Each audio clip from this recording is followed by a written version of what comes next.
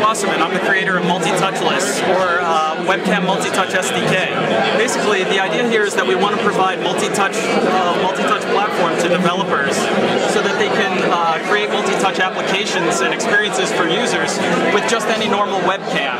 It doesn't necessitate more expensive hardware.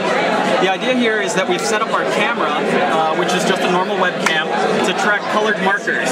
You can see here it's tracking these M&Ms. Delicious. And um, basically we've set up some demos in uh, this application here that uses the SDK to show off some of the multi-touch functionality that developers might want to harness from our SDK.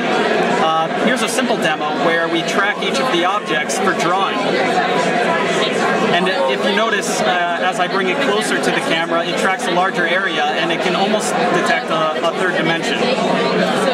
Another demo that we have allows uh, two markers to uh, manipulate an image based on their relative location.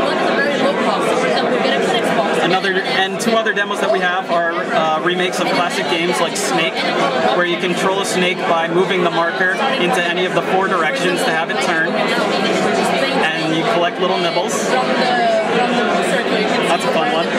And I've set up a multiplayer Pong demo called Defend, where two players can essentially play Pong, and actually it supports up to four players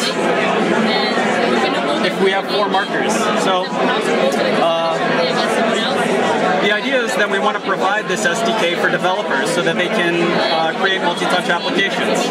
Uh, we're soon to be open source on CodePlex, and currently we're hosted on CodeBox, and we'd love to hear your comments and feedback, so please feel free to get in touch with Multi-Touchless.